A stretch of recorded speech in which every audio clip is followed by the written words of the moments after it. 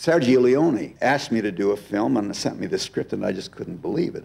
And I met him, had lunch with him, and I hadn't seen his early films, so I didn't know Sergio Leone's reputation. And he realized I hadn't seen them, so he arranged for a screening, and I saw about three and a half hours of his early films with Clint Eastwood. And one of them involved uh, an actor friend of mine, and uh, I called him, and uh, he said, Don't miss it, just go. To hell with the script, just go. You'll fall in love with him. He's marvelous. So I accepted. And in the months before I went, I kept thinking, now, this heavy son of a bitch, how am I going to?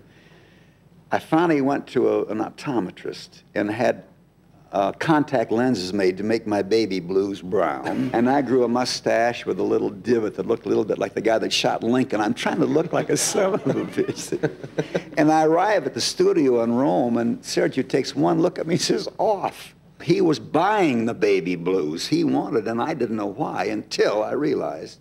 In my opening scene in the film, and you see five or six long robed brimmed hat characters that you don't recognize, but just ominous looking, converging from the sagebrush with rifles and handguns.